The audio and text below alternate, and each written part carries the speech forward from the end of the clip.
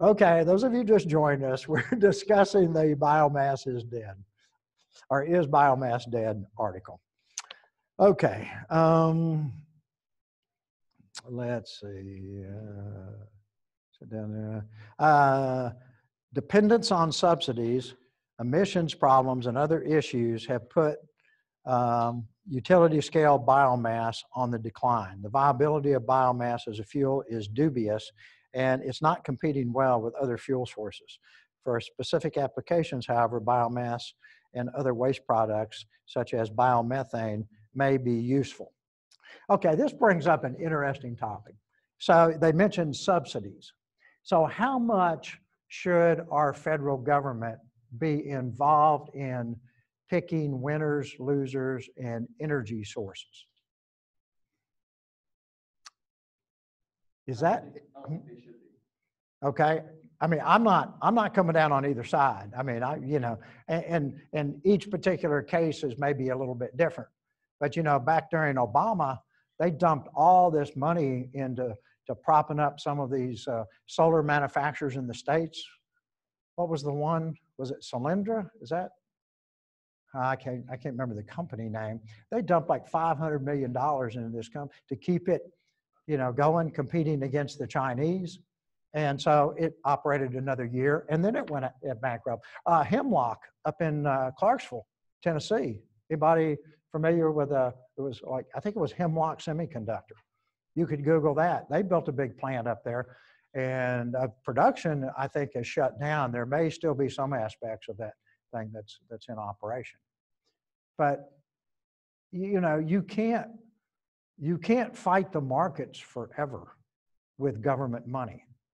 You know what? I, have I put our, our, our, national debt calculator up in here yet? I will. Nah, I, will do it someday. I don't have much in the way of lecture. You know, I use that as a filler. But anyway, I mean, you should you can do that. Google national debt calculator, and the first thing that comes up, and look at how much money our country's in debt. I mean, that sucker sitting there. It's 21, 22 trillion dollars.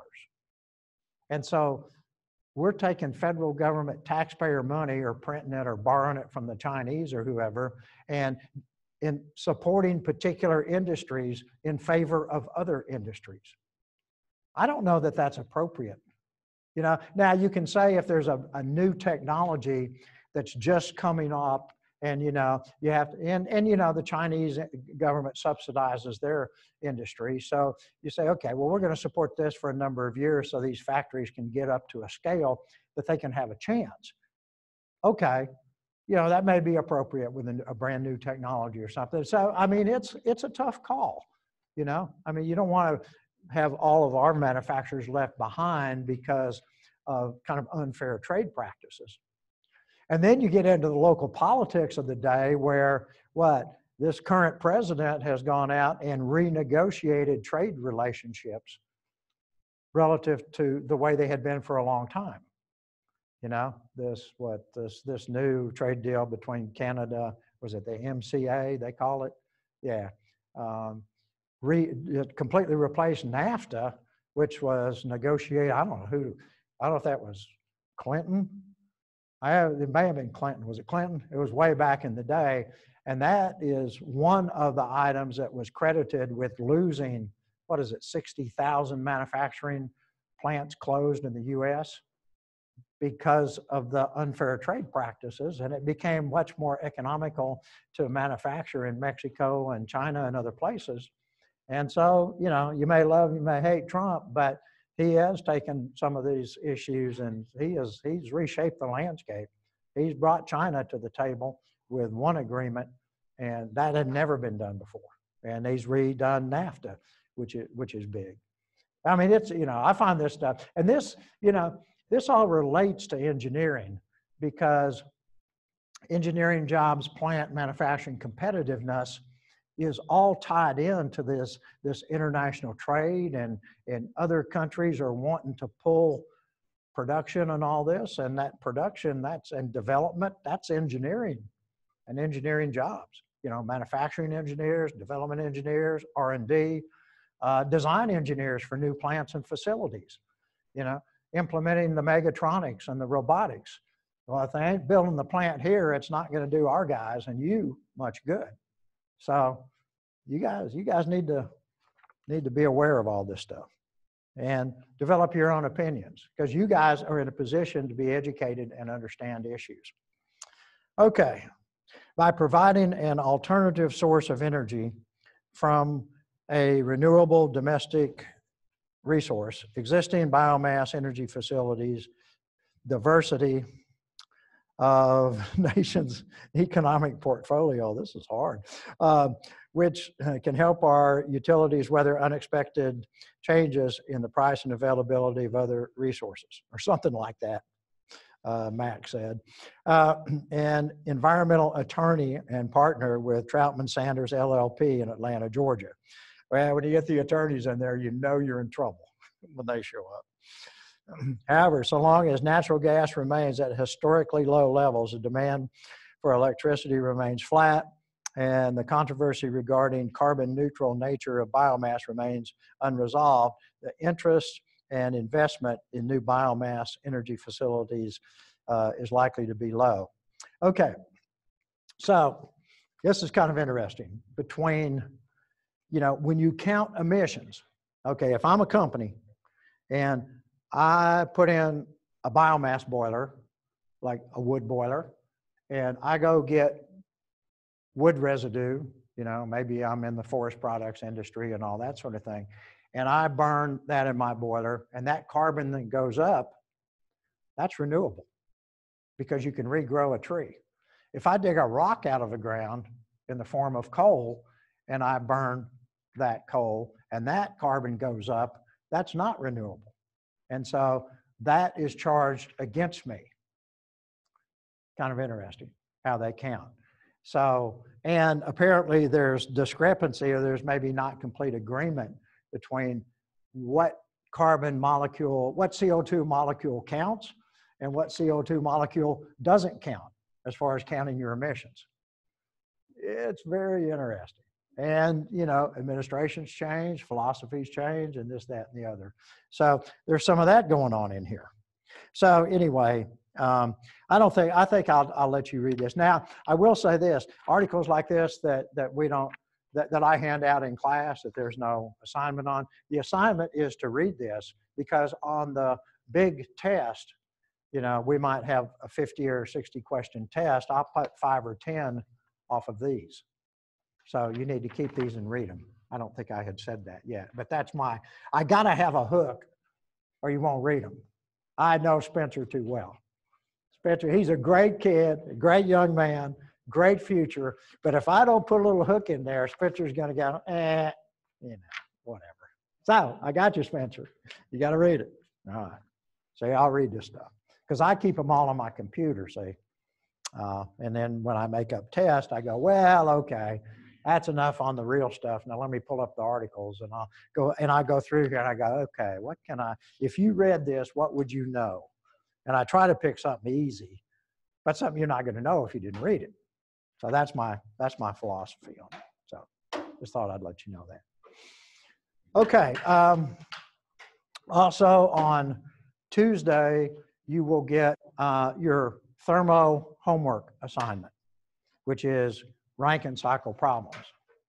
And you know, when you took thermo one and two, you got kind of the small and the medium sized problems but you're big people now. You get the you, you get real problems now. So there's only three or four of them, but they're slightly different. You know, they're the ones at the very end of the thermo book or ones that I've made up.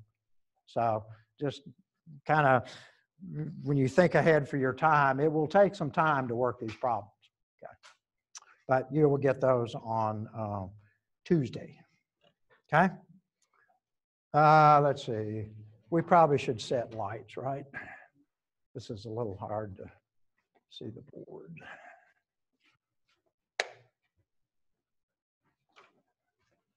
It is right after lunch. So put you on your best behavior.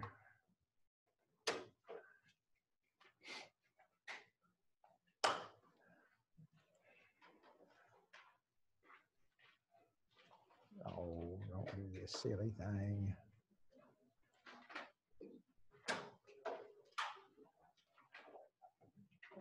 Okay, we did that. Uh, okay, so we're still doing fundamentals. Hopefully we can get through mo- most of this today. But, okay, so for the ideal Rankine cycle, we can use the area under the TS diagram to represent heat transfers.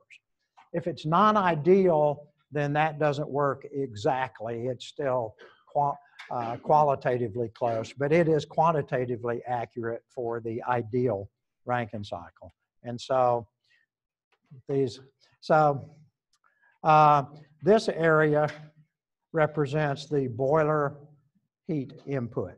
So it is from, we're showing four coming out of the pump. And of course, the, the, the shading's not perfect, but anyway, it's the area from four up to A, over to one, down to the bottom axis B, over to A, and back up to four. It's that entire area enclosed by the uh, boiler heat addition from uh, four to one, okay? All right, and so then uh, the following area is the uh, heat rejection from the condenser. So it just goes, it's this nice little rectangle down here from two to three to C to B to two, whichever one you want to go around. But that area represents the heat rejected by the condenser to the environment. Okay, and then of course, the net enclosed by the cycle is the net work or net heat for a cycle. Okay, so that's the area representation. Questions? Pretty straightforward. Okay, now we're going to look at um, effects of efficiency on the Rankine cycle based on making uh, changes. And the first thing we'll look at is if we could lower the condenser pressure.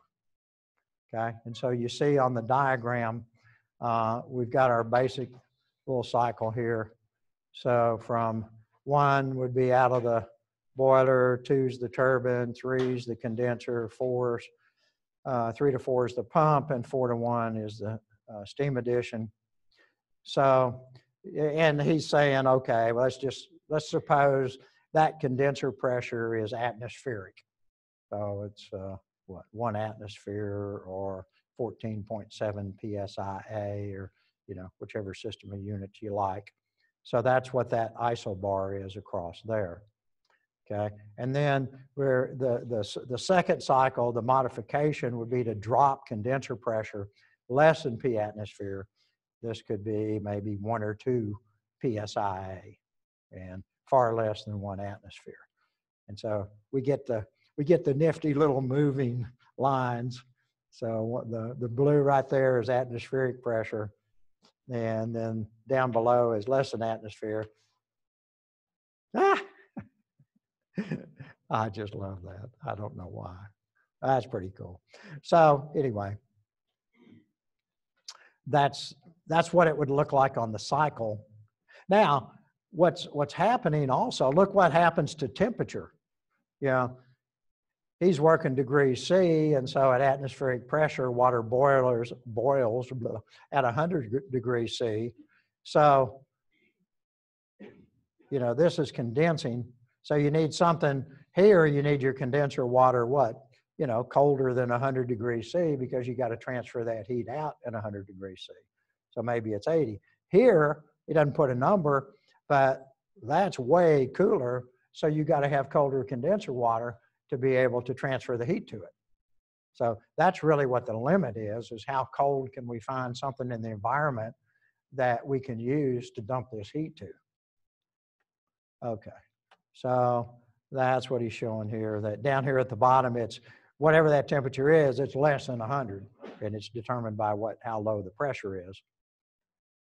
So, so now our general guidelines in thinking about improving efficiency is if we can increase the average temperature during the heat addition, efficiency goes up, keeping the heat rejection temperature constant. Or if we can keep the average temperature during the heat addition constant we, and lower the condensing temperature or the average temperature during the heat rejection, will increase cycle efficiency. Well, we are obviously decreasing the average temperature during the heat rejection because it's rejected at constant temperature and it's whatever uh, temperature goes along, whatever the saturation temperature is for this pressure is the temperature along there. And then of course the ambient has to be colder than that. Say he shows ambient down here to be able to get the heat to flow in that direction. Okay, so there's no doubt that going from the initial cycle to the prime cycle is going to reduce the average temperature during the heat rejection. That's clear. Now, what he doesn't go into here is, doesn't mention, what happens to the average temperature during the heat addition for this change? Initially, what? We're going from, we start at four, because that's out of our pump, and we wind up at one. So whatever that average temperature is for that process, someplace up in here, that's the initial. The final, I'm starting down here at four double prime, which is less. And so I'm winding the rest. Once I get to here, it's the same. So the average temperature during the heat addition is declining here a little bit. Well, he doesn't talk about that in the thermo book, but it's true.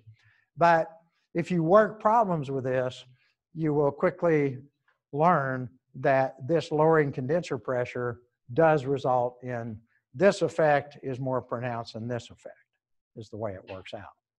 But that's not discussed here, but I think it should be. So, anyway. Questions on that? Okay, move right along. Um, so he's just talking about that's environmental for uh, heat rejection to the surroundings, the lowest feasible condenser pressure. And this is not even really feasible. The, the lowest theoretical condenser pressure is the saturation pressure according to ambient temperature. Well, you, you know, you can't, at ambient temperature, if your condenser temperature is the same as the ambient, how big does your heat exchanger have to be? Infinite. You can't afford an infinite heat exchanger, I'm sorry. You know, even these billionaires running for office can't afford that, you know. So it has to be uh, somewhat above the, the ambient temperature. Um, and then this is, he's justifying the use of condensers here. We've talked about this. Um, you know, there's, um, you, you just can't afford to throw the working fluid away. So I'll, I'll let you read that. There's, okay. Um, let's see, steam condenser, energy discharge, well, cooling water. Oh yeah, he's talking about all the heat that uh, is transferred to the cooling water. And the issue here is that um, it's just so the temperature is so low, it doesn't have any, uh, there, there, there's no possibility of using it. We talked about that. Okay, so let's move on to, on the other side of things, let's increase boiler pressure. And this is probably more of interest because we don't really have a way to uh, make the ambient colder, but we do have a way to increase boiler pressure. So again, we have the first uh, cycle, the one, two, three, four, back to one. Um, and that's at this initial pressure. And then we're going to look at if we increase boiler pressure,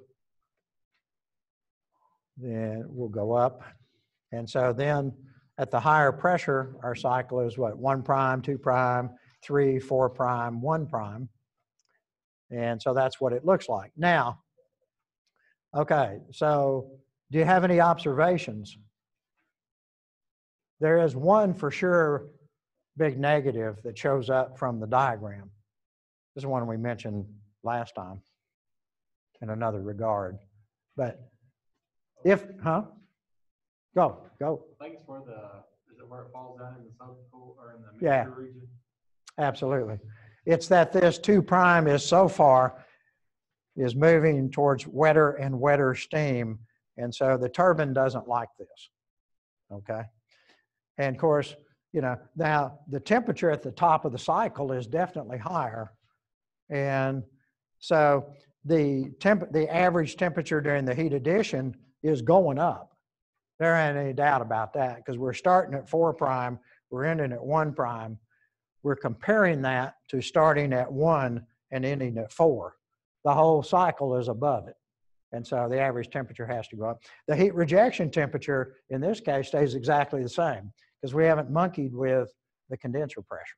So that's all the same. So there's no doubt this is going to help us. Now, the other downside is do we have materials?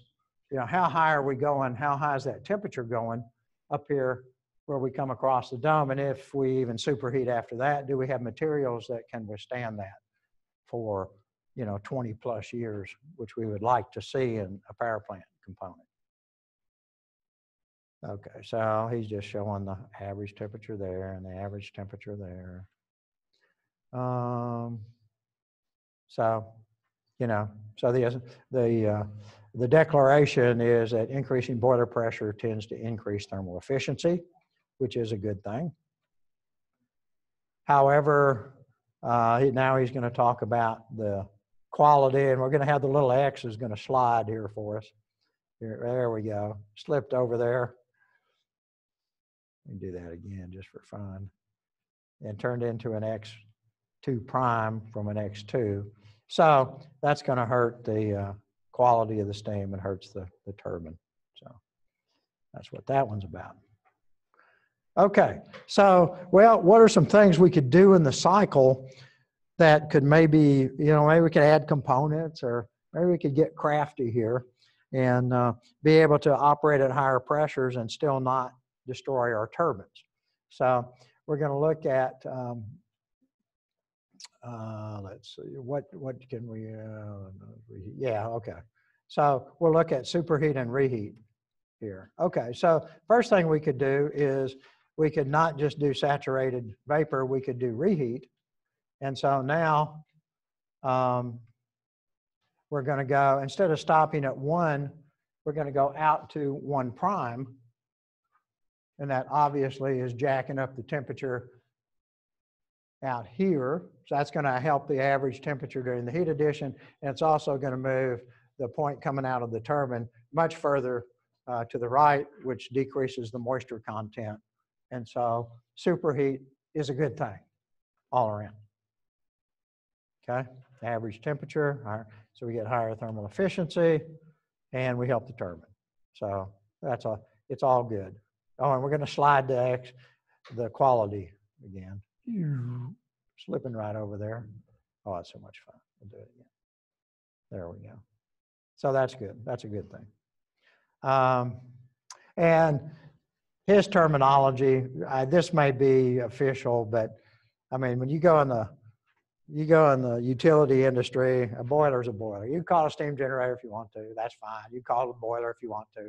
Nobody's going to look down the end of the nose. You may have the biggest boiler in the world out there with all this different stuff on there, and you don't have to call it a steam generator. It's okay to call it a boiler.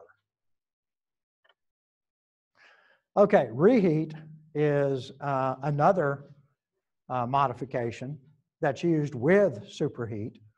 Um, and it helps to increase the thermal efficiency and it also helps the turbine. So, you know, what are we doing now? This is this is pretty this is kind of costly, right? Because now we've got our turbine is in two sections, so we have two different turbines, as the case usually is. And so we come out of our boiler down here, main steam, at one. We go, we expand through the high pressure turbine.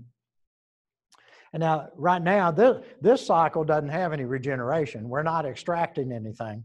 When we get to the real deal, we'll do this and we'll do extractions. But, and that's what you get to do homework on. But, so on just the reheat, so we come out of this turbine, we go back to the boiler and we pick up temperature again, and then we come back to the low pressure turbine.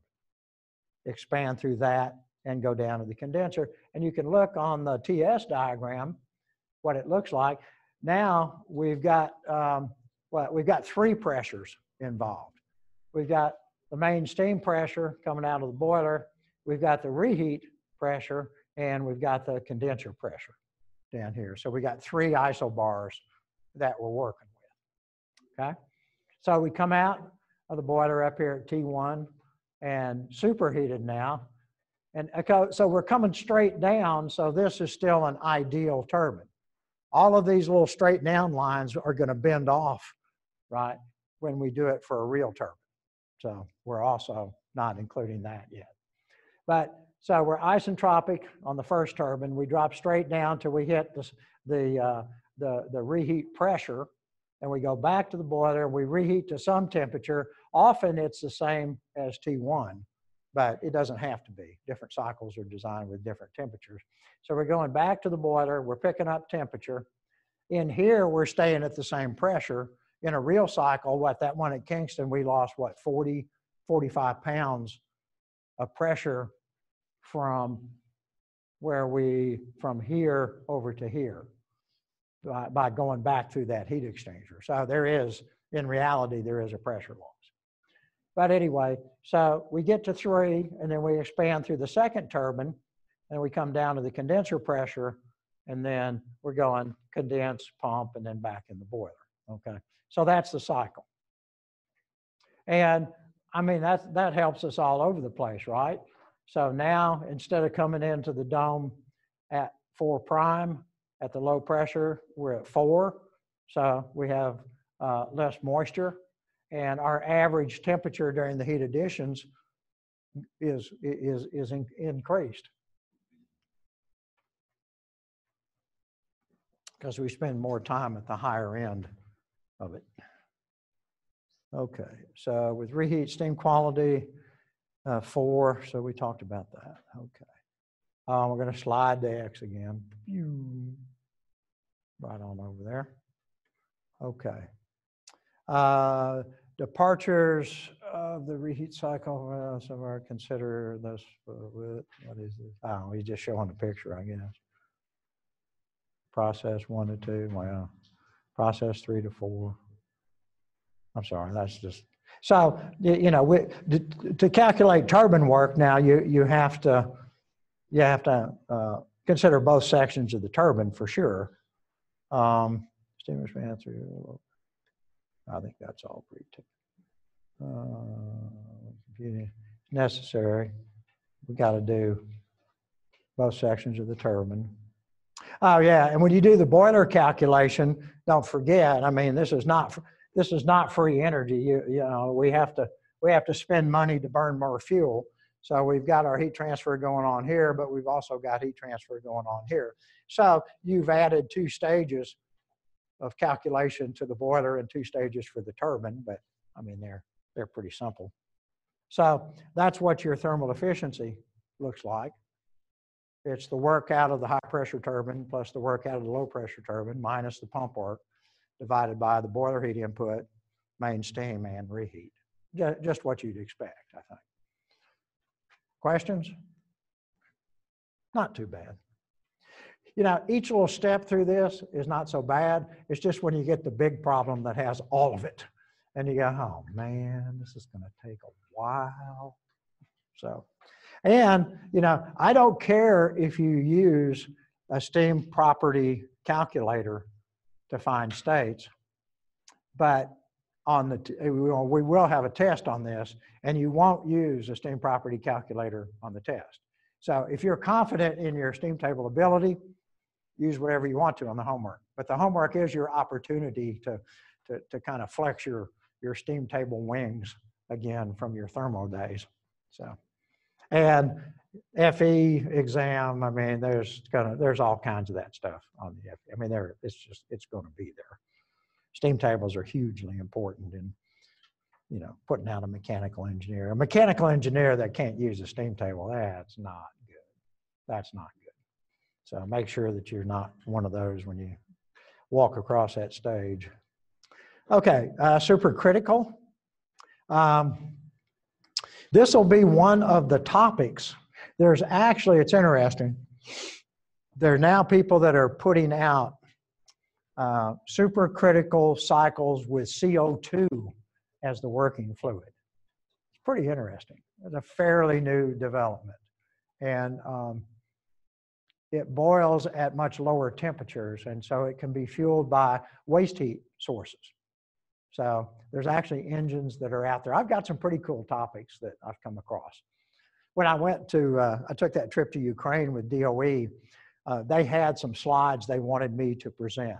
So I was, I did, I did a classroom with all these guys that all they spoke was Ukrainian, most of them. And so I, we had this translator in back and she was amazing because she was bilingual. And so I had a mic and she had a headphone and a mic and she's listening in English and translating instantaneously to Ukrainian. And when they ask a question, they have to get a mic and she instantly translates the question. I've got an earpiece. And so she's going back and forth. And so this woman is probably spending eh, five to six hours a day just sitting there listening and translating. Can you imagine doing that? I have. There's no way I could do that. I can't hardly speak English, much less to be to be quick enough. I mean, think about how mentally quick you have to be to listen. And she was not an engineer. Now she's been around and she's heard a lot of this stuff before, so she's pretty good. But I mean, I was amazed. We bought at the end of the day, we went out and we bought a bunch of presents for the translators and all that stuff because that's pretty amazing. But anyway, they had uh, they had these presentations, and they had a you know these Oak Ridge guys. They like to throw all this researchy, state of the art, new development stuff on there. And at the end, and so I was going through this one presentation, and I I kept hitting all these cycles, and I go, I'm there. I have no idea what that is. I'm on the internet, you know, researching this stuff. So there's some there's some pretty there's three or four topics that are pretty cool on there. So y'all can y'all can fight over those. Uh, okay supercritical. Um, so let's just take a look. So that's what the that's what the uh, TS diagram looks. You know, so we come out of the pump at six, and you can achieve really high pressures without a super lot of energy because with a pump because it's incompressible, right? So you know, you just get a big strong motor and you push, and the pressure goes up pretty quick. It's not like trying to compress a vapor up to, you know, these supercritical pressures. I mean, uh, TVA's got plants um, 4,500 pounds pressure, something like that. I think some of them have gone up to 5,000 pounds. That may be considered ultra. They have super, super high, super critical, and then they have ultra critical. And I'm not sure where they draw the distinction, but you know, it's pretty high. So anyway, and you know, so engineering students would probably like this because you miss the dome. You don't go through the saturation dome. So we come up, and this is the isobar at this supercritical pressure, because when it bends over, it never, you know, it's above the one that goes through the critical point. So you just go up, and they just say, this is just fluid. It's liquid here and it's vapor here and there's this magical transition and there's no boiling effect. Now, don't ask me what it looks like. I don't know. I've always wondered, you know. I mean, I don't know if anybody has a reactor where you can, oh, you could probably, you could do it with CO2 or something. You probably couldn't, I don't know if you do it with steam because the pressure is pretty darn high. It'd have to be a really thick window for you to look in there and see it. I, I wonder what it looks like. It probably just all of a sudden, you know, go just transist from a liquid to a vapor, just kind of, you know, as pressure goes up. I don't know. They kind of like flash steam or something. I mean, they kind of like that. I mean, just happen. Yeah, probably so. Yeah, I guess so. You know, I mean, I I, I think about it sometimes. I but you know, I, I guess we should look on YouTube and say, you know, we can, can we watch a supercritical transition from liquid to vapor? It's probably on there, I learned everything. Between Google and YouTube, you can learn anything, right? anyway, that's what happens. And so we, we miss the boiling effect and we wind up, you know, from six. So we push real hard in the pump and we get at this high pressure. Um, and then we start heating it And so, you know, six to one is, you know, heating in the boiler. And then we come out, you know, go through the first turbine section and we go back and heat it up again and then come down again. So, you know, the cycle I think is pretty much what you would expect. You just don't go through the dome. Ah, and we got the little blue ball. Okay. So I think we've said all those. Ah, we get to do it again. He, he likes it too. That's some graduate student doing this programming, I think. So supercritical thermal efficiency is up to 47%. And ultra supercritical can go up to say 50%. That's pretty darn good with, you know, in, without doing a cogeneration kind of thing. So I think you, hopefully you guys have some idea what cogeneration is now. You know, we get, we typically get the electricity on the top side and we come out of the turbine with enough uh, temperature uh, that that steam is still useful. And then we take that steam out in a process and we use it instead. And so there, the, the process is the condenser. And so that's pretty cool. And so then it just gets brought back. And so uh, that we can get very high cycle efficiencies by doing that. Okay, uh, irreversibility. Well, here, let's uh, let's go to the example sheet here. Oh, I think that's it. Yeah, we need to. This breaks it up a little, and we need to look at some of these. Okay.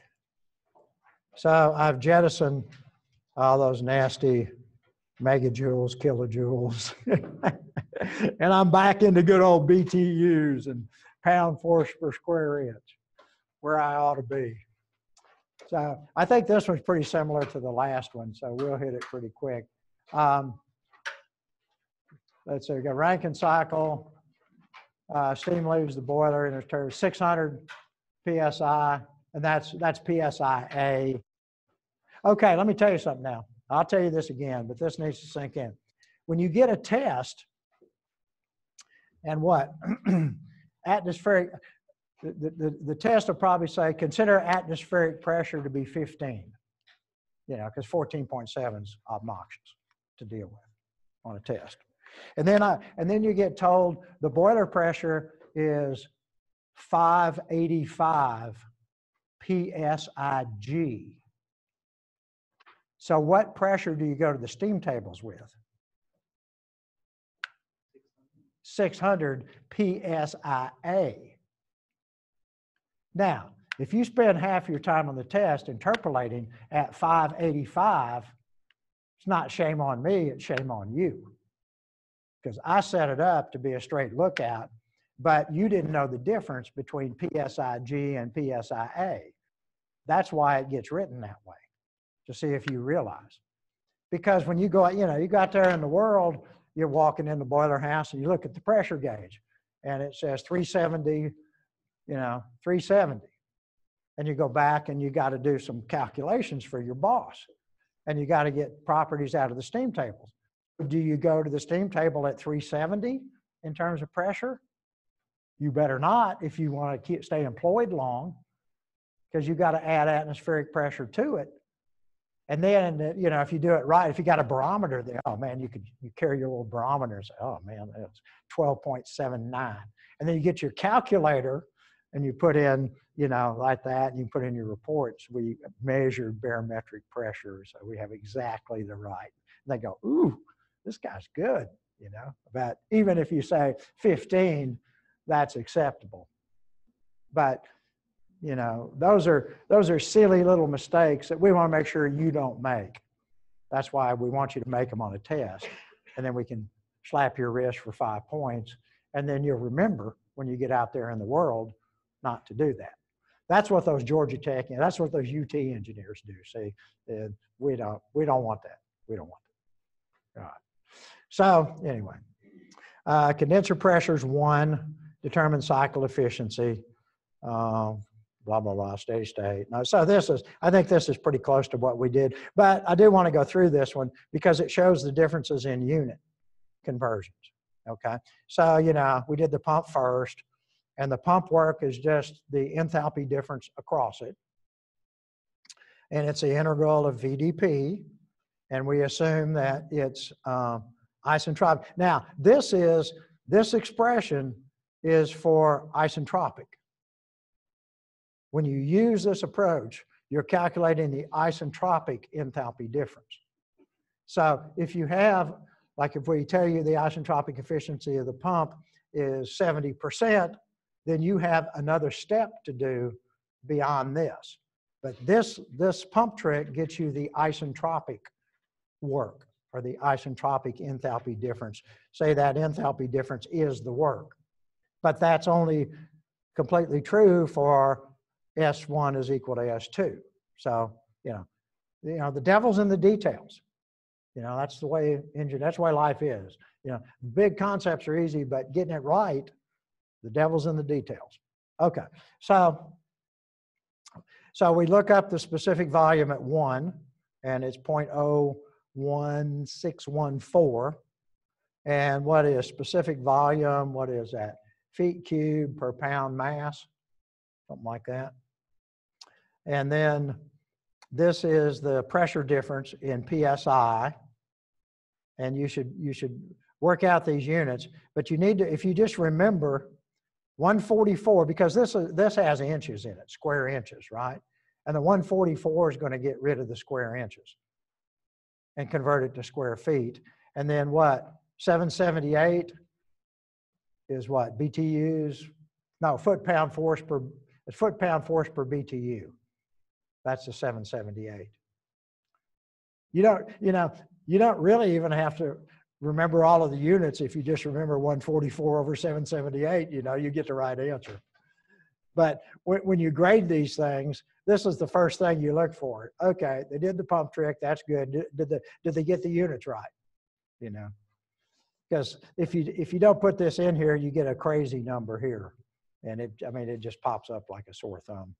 Anyway, so we get that work, and then so we go back here and we calculate H2 by we just take H1 to the other side of the equation and add it on. So that's 60, 69.7 plus the 1.8 is the work.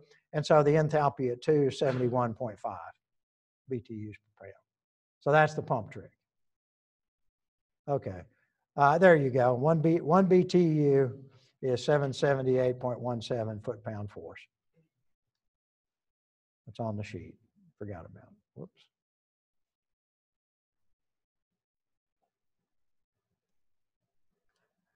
Okay. Uh, so let's see, for the turbine work, well, we know it's H, H3 coming in minus H4 out, and we know right now it's isentropic. Um, and so H3, this is a lookup from the table, from the superheat table.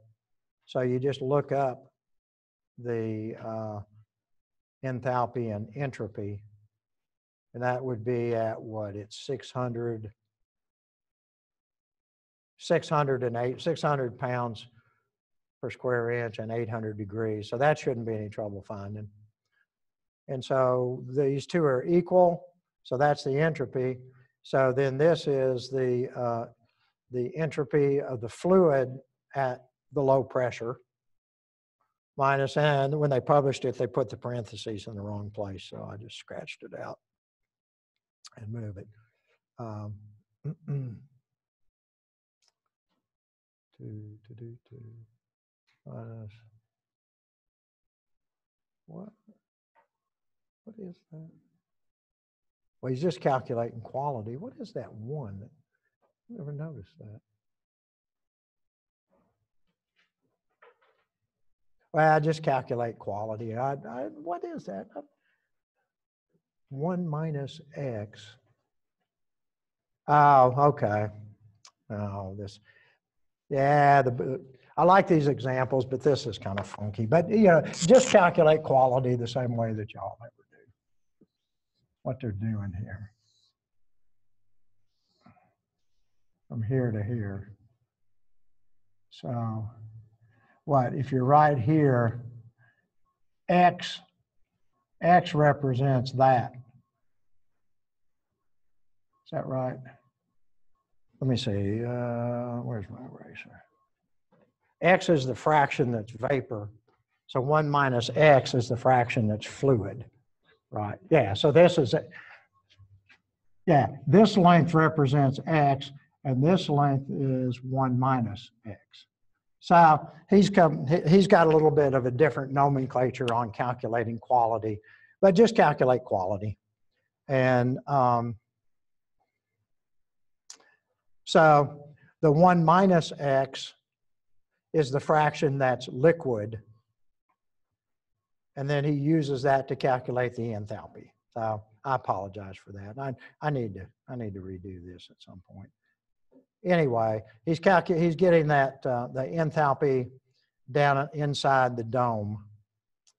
And that is nine point, uh, nine thirteen. And so then the turbine work is just the difference in enthalpy, uh, 474.6. And then the network is the turbine minus the pump. So this is the turbine, that's the pump subtracted off. Uh, uh, for the boiler, just the enthalpy difference across it. So these are, this one, this one was from the pump exit, and this was the lookup. So subtract those, we get 1336.1, and the cycle efficiency network over the heat input, 36.9. And then you can um, calculate the, um, let's see, this is H4 minus H, that's the condenser. Yeah, this is the condenser heat flow. So if you put a control volume around the condenser, and so if you take the boiler input minus the condenser, so this is net heat, you get the same, you get the same work as we get right here. 492.8, 492.8. So that's just showing that the net work is the net heat. So, Okay, let's look at one more here. Or we may look at a couple more. Yeah, so this is uh, reheat. So uh, let's see. So this thing, the, the way these examples, they kind of build on one another. And so it's the same basic setup, except um, our reheat pressure is 60. And so I don't guess I have a diagram. We can go back and forth to this.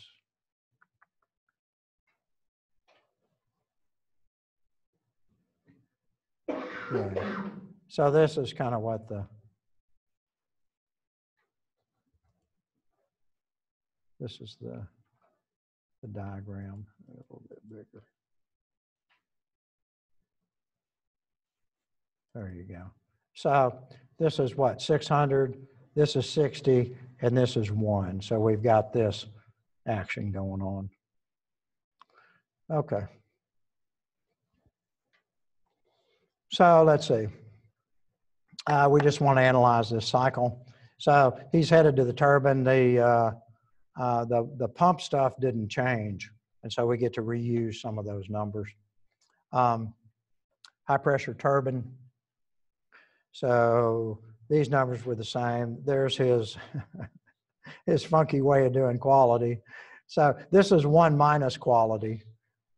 So you can see it's we're we're almost all vapor. We're still slightly inside the dome. And then this is the calculation of H4. So we got 1170 uh, coming out of that first turbine. And then we go back to the boiler and we heat up, uh, let's see, what was our temperature? We're heating back up to 60, say reheated to 800. So we're going back to 800. So that's at 60 and 800. You ought to be able to, oh, here's, here's some of the, the, the quality calculation, S3 is S4. Yeah, so say he comes up with this, uh, where is it? Point zero zero eight three. And if you do the standard calculation, you come up with the actual quality, which is 0.9918. So anyway. Is quality, that, so that's the amount of water in the mixture? Quality, remember, quality equals one is 100% steam. Quality equals zero is zero. But if you do one minus quality, then that's the fraction that's liquid, because it's either liquid or vapor. So, Uh, vapor, right? what's that? Steam is vapor? Yeah, yeah. Yeah, the vapor, right. Okay, so you got to find these two enthalpies here for, this is um, coming out of the first turbine. Uh, This is going into the second turbine, this is coming out of the second turbine. And then, so the total turbine work, uh, the first turbine, this enthalpy difference, second turbine, this enthalpy difference. So we're 605.1. Here's the pump. Yeah, this, the pump turns out to be just the same as before, the 1.8. So these numbers are what we had previously. 71.5 going into the boiler. And now on the boiler, we've got, you know, two sections, uh, main steam and reheat. So just got to plug those enthalpies in. So now the boiler heat additions 1596.9 Network total the sum of the two turbines minus the pump get 603.3 and then divided by the boiler heat inputs 37.8 so so he's saying that the moisture content leaving the turbine decreased uh, as a result of reheating decreased from 18.6% to 4.1%. So that's significant improvement for the turbine. Uh, uh, don't see what this one is.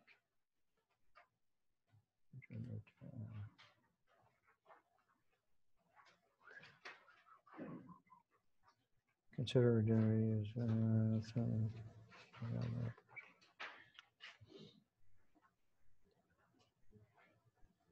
Oh, that's the same one, isn't it? What is this? Is this? No, what is this? Is this different? It's got to be different somehow. Oh, this is regenerative. Ah, that's, this is, ah, we're not.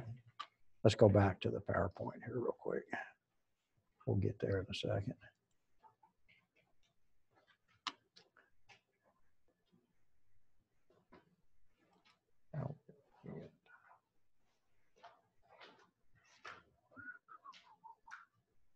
Okay, so we jumped ahead.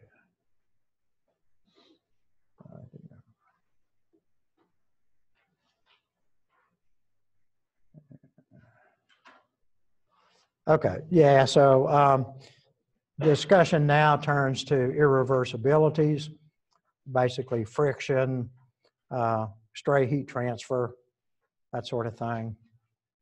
Um, So he breaks it down by systems and he's, I think he's saying, the, you know, the, uh, the combustion, the combustion is a huge irreversibility. Um, You know, because that heat transfer, how do you get reversible heat transfer? Remember this? Do you want, to? you may not want to, I don't know. It's one of these theoretical discussions. To have reversible heat transfer, you have to have an an infinitely small temperature difference. But to transfer a finite, to transfer a finite amount of heat reversibly, you have to have an infinite surface area. So it just, you know, so heat transfer is not reversible, especially at a boiler. You got combustion temperatures of 3000 plus, you got steam temperature of 1000. That's a huge delta T. So that's a huge irreversibility. Um, so and, you know, they make a big deal about uh, irreversibilities being external to the system under consideration or internal to the system under consideration. Uh, Real concerned about that, to be honest with you. It's a thermodynamic point, but anyway. So combustion, irreversibilities in chapter 13. Uh, looking at the internal, we're gonna get through some of this. Okay, well, so let's get over to, to, to where the rubber meets the road here, and that's the isentropic efficiency of the turbine and the pump, okay? And you can identify that easily by looking at the, if you have a TS diagram, by looking at the pump. And so the, the the, the, the process that goes straight up from the three, and this is tagged 4S to indicate that it's isentropic. The real one is going to have some entropy increase. And so they usually show that with a dashed line. So we're going to come out, the real pump state at exit is 4. The ideal is 4S. And so the way we've been calculating that exit enthalpy on the pump gives us 4S, and then we have to go to the equation for the isentropic efficiency of the pump in order to modify that to get the enthalpy at 4. Same discussion on the turbine.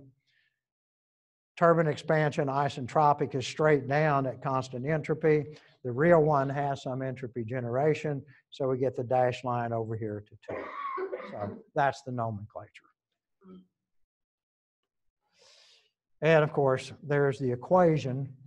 I think we've had this up there before. And so when you write this, you just, you just want to remember this is a comparison between the second law efficiencies are comparisons of a real turbine to an ideal turbine. Turbine makes work, so the ideal is going to make more. So the ideal goes in the denominator, the real one goes in the numerator, and then we just plug in the enthalpy definitions. So when you get to this stage, you do what we had done previously, and that will give you H2S, the exit enthalpy for the isentropic. And then you say if you have a number like, you know, it could be 0.85. So the 0.85 here, you know everything but H2. You solve that and adjust your exit enthalpy for H2. Okay, so work develop actual turbine. And it's at the, uh, the same inlet condition and exit pressure. That it has to be, to be a comparison, it has to be at the same uh, inlet steam condition and exit pressure. That shows. And then there's your isentropic on the bottom, and that relates to that. So that's not too bad. Just another small step of complexity. Questions? Everybody good? Okay. So then we, we do the pump. And so, you know, it counts for this efficiency, accounts for irreversibilities and losses and friction and all that in the pump. And so now, because the pump is a work consuming device, we put the isentropic on top because the actual pump's going to require more work. So it goes on the bottom in the denominator. And just plug in the appropriate uh, enthalpy um, terms. So for the isentropic pump, it's H4S minus H3. And for the real pump, it's H4 minus H3. And bingo. So. So it's the same inlet and exit pressure on both of them. Okay? All right. There we go. So, um, in these problems, we, we typically, I don't know, some of the ones I give you might have some pressure drops in them. But in general, in the, at the thermal one level, you usually ignore uh, the frictional, the pressure drops between components or going through a component. So you just have to read the problem. At least in, in chapter eight of the thermal book, they do. Okay, regenerative feed water heaters. So this has to do with increasing the average temperature during the heat addition and making the cycle more efficient. Okay, opened and closed heaters. Uh, let me see, what slide is that? It's 51. Let's go back. Uh, let's go all the way back to the real cycle.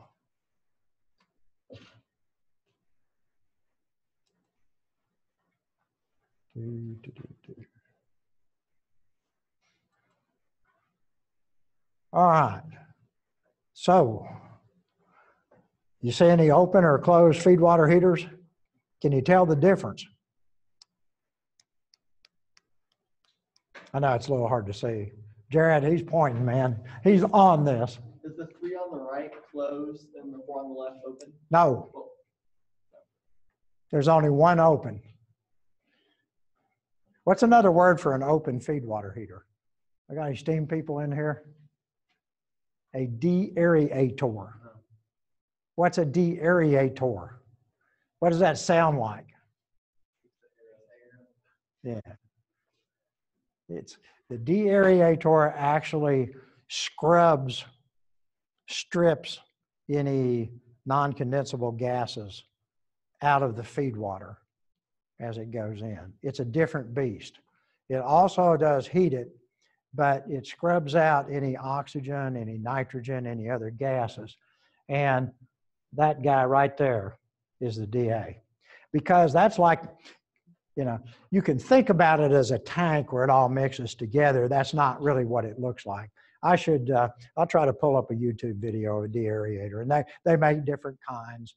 A lot of them have kind of, it's like a, a tank and it has kind of a neck that comes up and the water comes in there and falls down. There's plates in there on a lot of the big ones. And the, string, the steam is uh, injected and it flows up across the water as it's on those plates to try to strip out any gases. By heating it up, the gases will come out of solution in the feed water here. That's how you get, you know if you ever notice, if you take a, take, take a, a glass and get water out of the cold water out of the drinking fountain and set it on the table and come back in an hour, let it warm up, it's got all these air bubbles in it. Actually, probably mostly nitrogen bubbles, but it's got bubbles in it. And it's because as you heat up water, any dissolved gases become less soluble and they come out of solution. And so that's what that deaerator is doing. It's just taking water, I don't know, what are we coming in at? 255 and coming out at what, two, 285? Is that right? Or is that enthalpy? That's degrees. Uh, Three I don't- fourteen degrees? Anyway, yeah, is it just, it's, yeah, 304. That's it. Isn't it? Yeah, because we're pumping. Yeah, we're pumping. So we're coming in 255. So, you know, we're picking up what, 45, 50 degrees, something like that. And that forces, that'll force some of that, any of those gases out of there. And then they get vented out of this tank. Now, since this stuff mixes together, every time you have an open heater, you have to have a set of pumps. Because say this pump, what's our dis, does this thing give us discharge pressure? This, this pump has to get it all the way back in the boiler. And a requirement is you have to have, I think you typically have 50% more pressure coming in than the boiler operates at. So if that's on uh, util, um, industrial boilers, I suspect it's the same. Uh, so if it's 1800 times 1.5, so that's about 2,700 pounds of pressure here in that feed water line. And you've got losses through all this. So you've probably got 3,000 PSI coming out of those pumps. Because look what they're pushing through. They're pushing through this heat exchanger, this heat exchanger, this heat exchanger, and all this piping to get it back to the boiler. That's the last pump. And these are just heat exchangers, steam condensing on tubes, heating it up. Why don't they put another pump somewhere? Oh, well, this is the last pump. Why don't they put one like after the last? I'm sorry, what? Why don't they put one after like the last heater? Why don't they put like a smaller pump there and one after the last heater? Because it's cheap. These are, you don't have small pumps and, you know, a power plant, a power plant, you don't have a small anything much. I mean, this is, this is big stuff. This is, this is probably a two or 3,000 horsepower motor. Yeah. So you could put one pump after the aerator and then one pump after the last heat, after the last heater. Well, you could, but they don't. Yeah, I mean, but you don't have to. See, the point is, you have to here because this stuff all mixes together. I mean, if you make this 3,000 pounds, I mean, you, you know, you, I mean, how are you going to make that 3,000 pounds? You know, you can't. This thing, this thing is going to operate basically at the extraction pressure. Say, and this is the. do, do, do, do, do, do. No, no, no, no, no. What's that? 400? I'm at 450? Whatever that says. That's 625. That's four something. Kind of garbled. But that's the pressure of the extraction. So that heater. Is that what that thing says? Oh, I can't read the thing. Can't see my own diagram. Let me get one over here. Oh, well, that, that's closed. That's not the, this valve up here is, this valve up here is closed. That's not the main line, line feeding it. Uh, what is it? Uh, So, anyway, we're coming off of one of these. This is coming in here. Is this the main one? Is it four? Looks like four. What's that? Seventy-one point three, I believe, is four. Yeah, and we're saying sixty-seven point seven. So that's the actual pressure drop.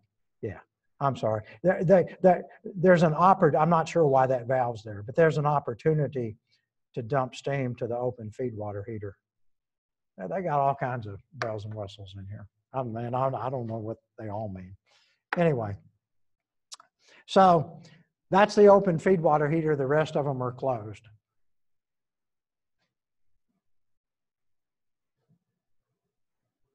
Uh, 51.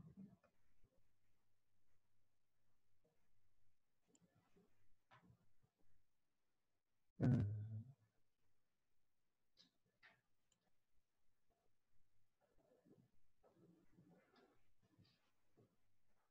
Okay. Yeah, open and closed heater, so we, we kind of hit that. Okay, so this is the uh, simplified diagram. So now we feed the feed water heaters with extraction steam. And now we get into these little Ys, ones and Ys, or you can use whatever symbol you want. But so, you know, like we did before, this is the fraction of the main steam, the main steam flow that comes to the open feed water heater. And say we show a pump.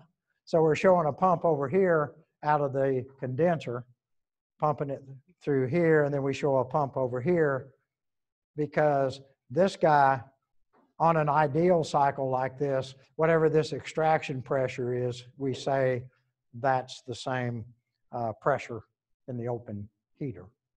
And so as far as your energy balances, you know, you've just got Y times H2 in. Uh, let's see, over here at five, you've got one minus Y times H5 in. And you've got one, it's all put back together times H6 out. So this term plus this term equals this term. And then you can solve for the Y. So, but, uh, and we can look on the uh, TS diagram. Let me see. So uh, if we didn't have that feed water heater, what we would we would be uh, at five, we would be going into the boiler, right? We come out of the condenser, out of the pump, and straight back to the boiler is what we've been doing. And so without the feed water heater from five, we would come up five all the way up to one.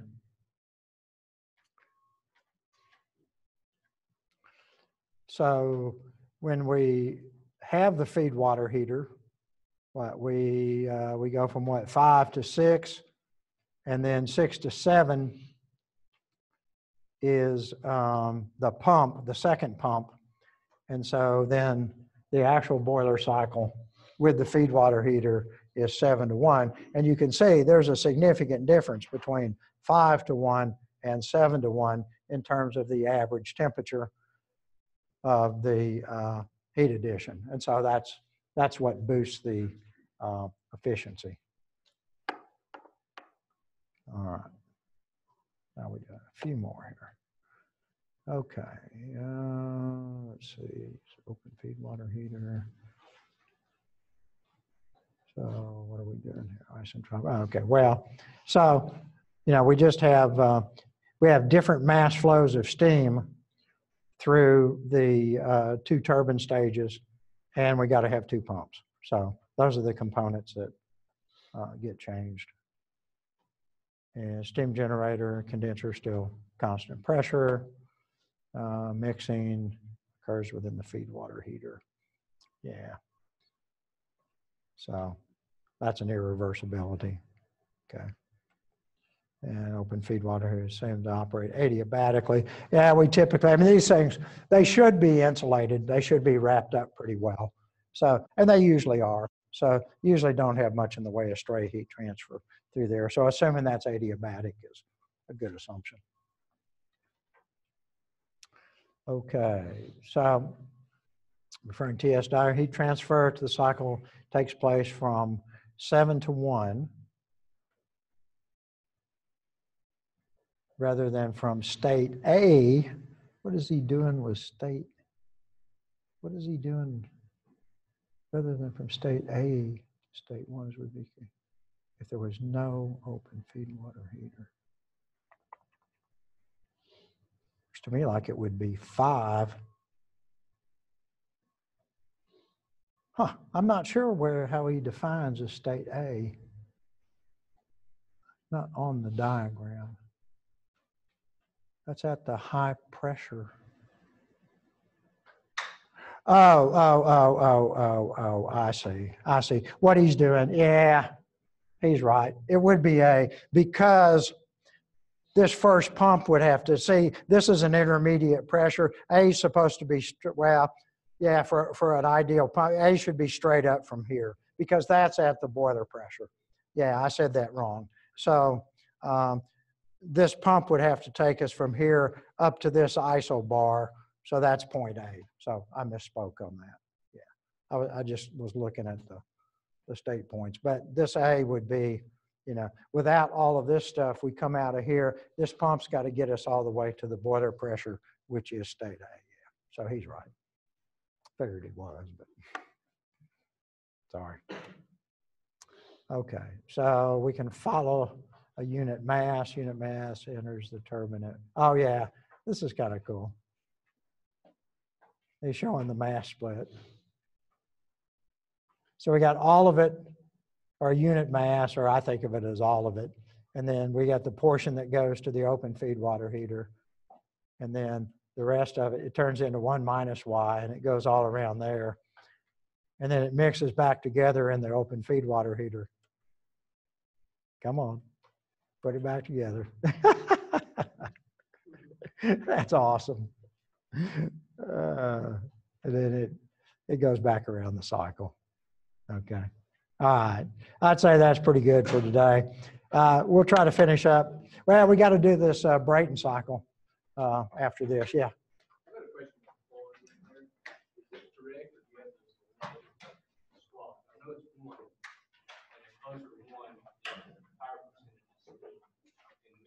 Uh, let's get this off of there. Uh, what'd I do? I lost my eraser. Just a second. Dadgummit. Can't find anything. Let's start again.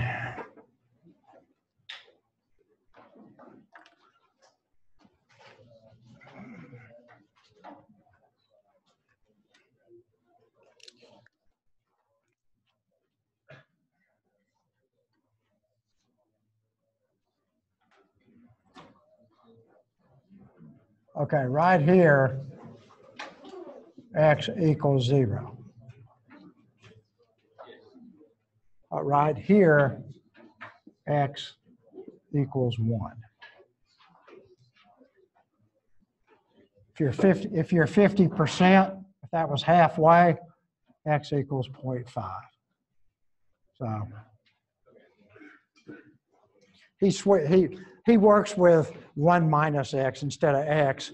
And I mean, I'm good with, I've, I've seen the math enough that it works, but I don't know why he did it. It's stupid.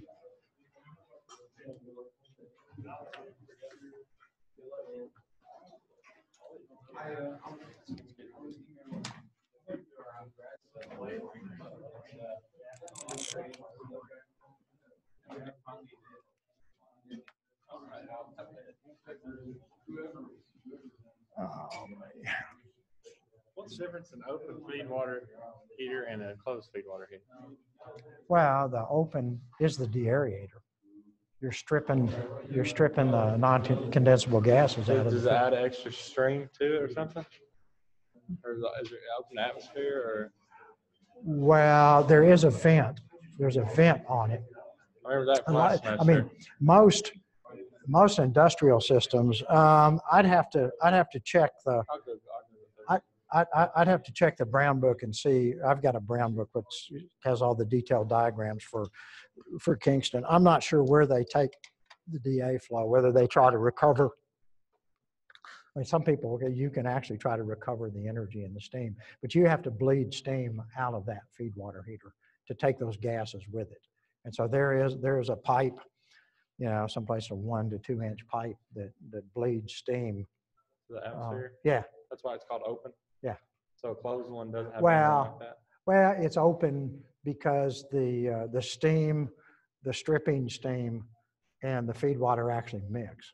So Oh, you're, you're that actually, oh, yeah, Yeah, that's why it's called open. yeah, yeah, Okay. absolutely. In fact, let's, And it closes, it's like a shell and tube. exactly, Okay. close the shelter. Let's see what the mass flow rate is on that.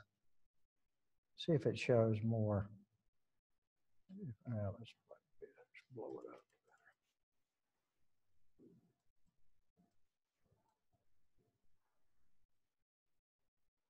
Let's see. So, what, that one? okay, so. Well, what are they doing? They're putting. Is it, uh, There it is. Okay, let me see, what's the, the flow rate here? Do we get a flow rate? Here's, uh, we don't get one on that one. Do we have anywhere back here? There it is. Well, no, Is that it? is that, yeah, hundred? seven oh, seven oh four. Pounds mass? Okay, so that's coming in there. And then,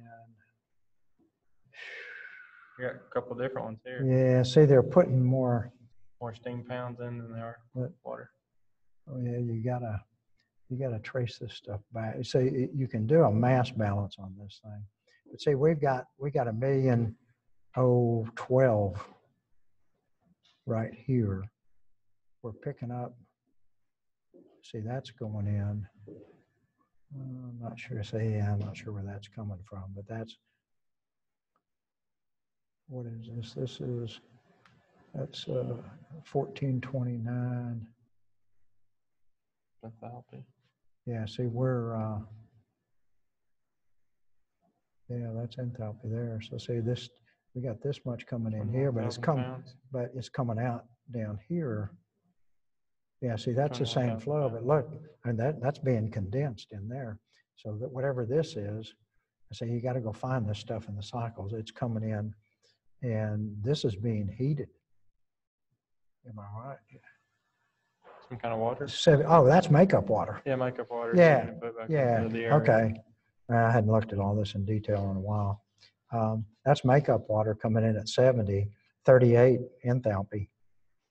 And then, um, it's being heated, it's being, So that's, that's adding- steam. So they're adding some from the uh, generator and some from the makeup water. Mhm. Yeah, so that's, I mean, the DA is where the makeup water comes in, the condensate. um, Is this the steam that, steam that leaves here? And then this is the, con- this is the condensed water that's going back to the, so this like dark black line, is that steam leaving the aerator? Now, that's condensate, look, this is, this is steam coming in here. This is preheating makeup water. Oh, so steam's coming in here and then the condensate off of that steam is coming here? Well, they're putting them both in the same thing though. Yeah, like- exactly. Yeah, see, so this is the condensate. We're taking steam there and we're heating up the makeup water. That condensate's falling in there. And then this is, They're putting the steam in there too though. Yeah. And then this is water too, right, coming in here? yeah, this is, this is Condensate the, from the turbine? yeah, this is the main feed water. Yeah, this is the condensate that's coming back, that's coming in here. Um, That's makeup water. But see, we've got night. Yeah, there it is. Okay, so, so see, that balances. But see, that, that's uh, vapor. Okay. at eleven eighty, that's been, that's been vaporized. So, and see, I think, I, I, I think the dash line is steam and I think the solid line is water. Okay. See, so this steam comes in, it condenses, it preheats this, this dumps in here, this dumps in here, and this guy, there's another twelve hundred and, uh, twelve thousand eight thirty here that's coming So from, that's from, main- from this That's the main extraction. steam supply for the deaerator then, right? Because it's so much more than this one. Well, it's, uh, we got both. Look, this one, there's almost twenty thousand that's coming out of the makeup Oh, water. okay. See, they, was they 20. vaporized the makeup water. Okay. Yeah, well, we'll go over this in class. I- So I- I just, I was confused about open and close, but once you said that they touch, then that makes sense. Yeah, yeah. Okay. Where's the, uh,